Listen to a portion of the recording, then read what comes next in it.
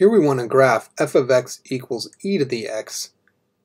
And first, recall that for any base b, let's just graph a generic b to the x. And this is for b greater than 1. We're just looking at exponential growth here. And you really only need two points. Right here, it goes through 0, 1, and this will hold for any base b greater than 1. So 5 to the x, 10 to the x, 3 to the x, e to the x. It goes through 0, 1, that's, the, that's really the anchor point. and then by the time we get over to 1 on the x-axis, we are up to b on the y-axis. And it makes this nice exponential curve that we recognize.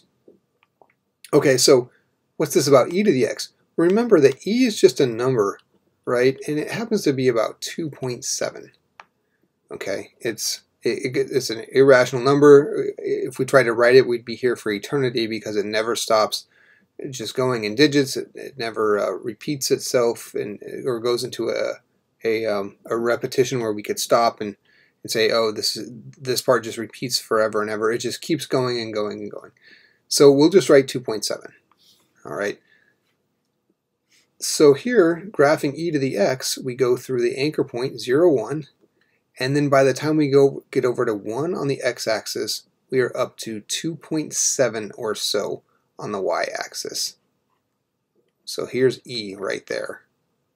All right, and then it hugs along the x-axis, it does not touch it, but it becomes asymptotically close, and then it blows up here, and off it goes to infinity.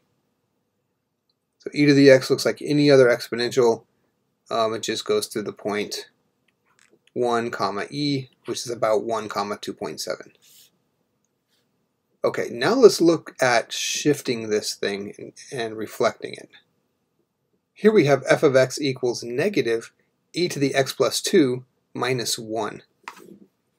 And if you remember what you know about translations or shifting, and reflections, this negative out in front is going to reflect. Okay, that reflects about the x-axis. That holds for any negative in front of a function um, when we go to graph it. If it's just a negative out in the front, that's going to reflect it down across the x-axis. Okay, a plus 2 in the exponent well, that's a horizontal shift, and it goes the opposite direction of the sign. All horizontal shifts do. So this is going to be 2 to the left for that one. And then this one out here is the vertical shift. Those go in the same direction as the sign. So this is going to be 1 down. Okay, so let's see.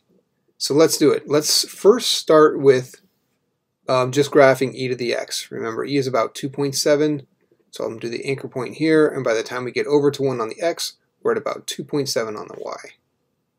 Okay, this is the base graph that we start with. Right? Do not just plug in points, don't just plot points to try to get at this graph from scratch. A, it, it's not very elegant, and that's not the purpose of the exercise. B, um, it almost never works. Um, so definitely you want to do it using the translations and the reflections here. Okay, so we're going to take this green graph, we're going to shift it about the x-axis, or uh, sorry, reflect it about the x-axis. So let's do that. I'm going to reflect it down, so that brings this point down to 0, negative 1, and then our 1e becomes 1, negative e. Again, that's about 2.7. So now I'm working with this plot here. All right. There we go. Okay, and that's my new plot, so I'm just going to erase the old one. So what we have now is negative e to the x.